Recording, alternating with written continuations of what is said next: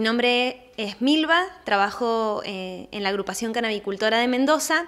Eh, mayormente coordino lo que es la parte de comunicación, pero bueno, también soy cultivadora, eh, experimento con fitopreparados. Nosotros funcionamos a través de comisiones, así que también participo de comisiones cultivo, salud. La agrupación más o menos tiene algo de 10 años de trayectoria aquí en Mendoza, es la agrupación que ha estado siempre haciendo las marchas nacionales y mundiales desde hace mucho intentando eh, generar un asesoramiento a los usuarios y usuarias. Yo participo particularmente hace algo de tres años.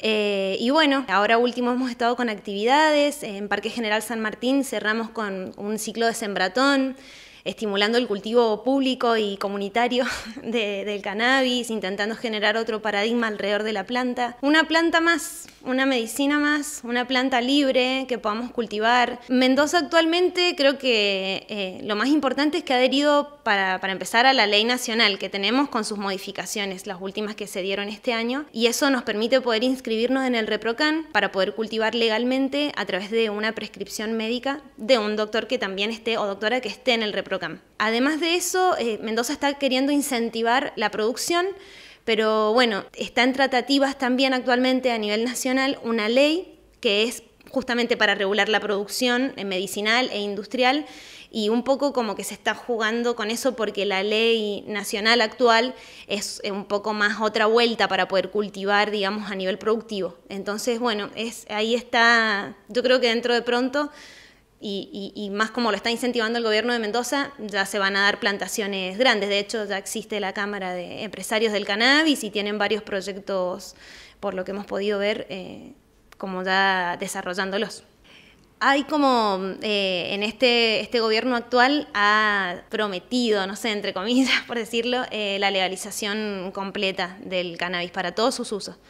Pero bueno, la realidad nos demuestra que los intereses empiezan a chocarse y bueno, estamos todavía eh, entre medio en una, con una legislación para solamente controlar la cadena productiva, pero solo medicinal o industrial, que incluye el cáñamo. Y bueno, mm, todavía eso está votado a la mitad. Así que imagínense que de eso hasta que llegue a salir otra ley, que sea otro proyecto para todos sus usos, bueno, es como que nos esperanzamos, pero, pero seguimos eh, ahí en la lucha permanente.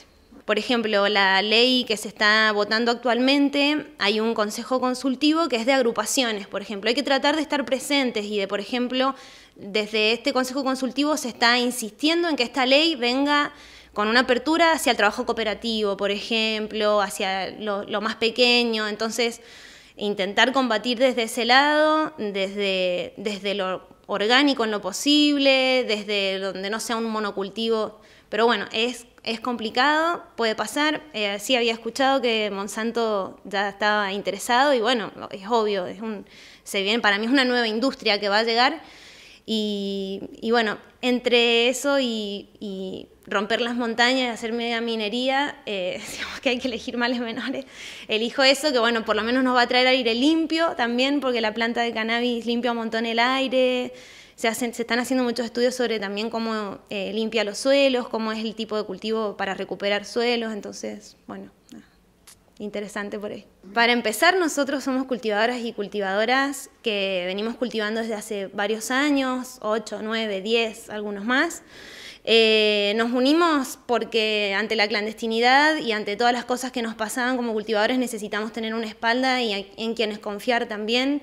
Y, bueno, y por otro lado somos más bien una asociación civil, eh, la agrupación trabaja más que nada desde el activismo canábico, eh, tenemos una red de donaciones de aceite, ahora estamos empezando a trabajar eh, de cultivo también solidario en red. También tenemos intenciones de generar una cooperativa de trabajo, pero bueno, no es nuestro fin principal, digamos, el lucro, sino que más bien poder generar eh, que esta actividad crezca, que nos dé a todos trabajos si alguien quiere trabajar de eso que no sea para un solo sector de la sociedad. Como bandera, la agrupación es eso, es eh, la libertad de la planta para todos sus usos, para el que quiera trabajar para vender eh, flores de calidad, para porque también en el consumo recreativo encontramos un fin terapéutico, en fin de cuentas, así que eh, creo para todos los usos. Por el momento no tenemos próximas acciones planeadas.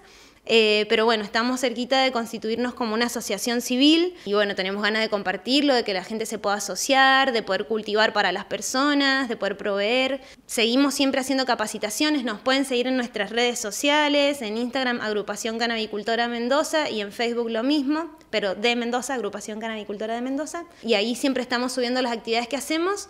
Bueno, ahora último cerramos con el sembratón, hicimos una siembra de bombas de semillas, eh, así que bueno, ahí los vamos a ir contando cómo sigue. Entendemos que, bueno, eh, eh, tenemos que adaptarnos a las, al, sistema y a lo que está planteado, que no es así nomás que se borra. Entonces entendemos que, bueno, nos vamos a tener que inscribir para poder cultivar probablemente, pero que ya se libere para todos sus usos y que eh, en caso de que hayan plantas silvestres que también se puedan compartir, que, sea comunitario, que no sea, que no genere alrededor eh, un, estigma, una cosa de avaricia ni nada de eso.